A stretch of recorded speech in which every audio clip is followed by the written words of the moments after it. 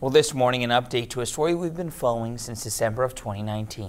Sunrise reporter Cordero McMurray is in the studio with the latest on a Corpus Christi eight-year-old diagnosed with a cancerous brain tumor. Good morning, Cordero. You caught up with little Julian and his family. How are they doing? Good morning, Taylor. That's right. I caught up with uh, his mother, Monica Galloway, and she says the family has opted to do oral chemotherapy, which they hope will keep the tumors at bay and give the family more time to create memories. No one will catch me. Eight-year-old Julian Galloway's mother says he has two tumors growing in his brain. The first time and the second time, uh, the tumors were able to be removed because of where they were.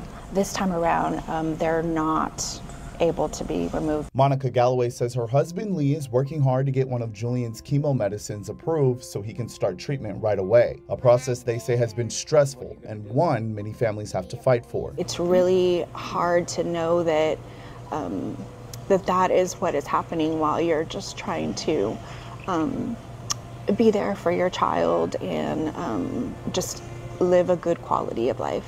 Through their Facebook page called Team Julian, Galloway says the show of love and support has been tremendous. Family friend Deborah Eulenfeld is organizing multiple fundraising events, including one in July. And it's all for Julian and his family. Some of their medications aren't covered by insurance, and it's for that. It's for for them to do little vacations with, to make memories. Another friend of the Galloways, Misty Brown, lost her daughter, Morgan Thomas, in 2007 to cancer and says from her experience and the community helping her, she wants to give back. We were able to not work. We were able to focus on my daughter, take little vacations, build as many memories as we could with her, give her the best that we could in the short time that we had. And that is exactly what we want to do for Julian's family. Julian's mom says if he responds well to the oral chemotherapy, he has six months to a year. The Galloway family said right now, spending quality time as a family is what they are focusing on. But because of their motto, Julian Strong, he continues to fight and make his family proud. So he will be graduating on Thursday this Thursday, and um, he will be promoted to the first grade.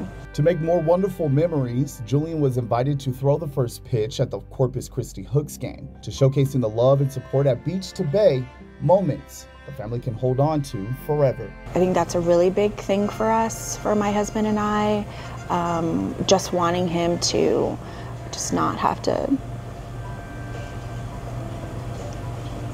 suffer anymore because he's just done so amazing. What? and he's just been so strong throughout this whole thing.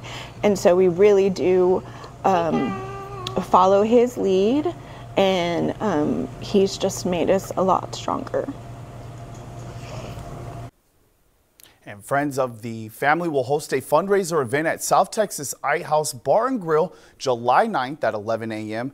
They are in need of servers, auction items, and bands or DJs. To help with the fundraiser or to donate to the family, we have the contact information on our website at kristv.com. And from us here at KRIS 6 News to Julian, stay strong. Cordero McMurray, KRIS 6 Sunrise.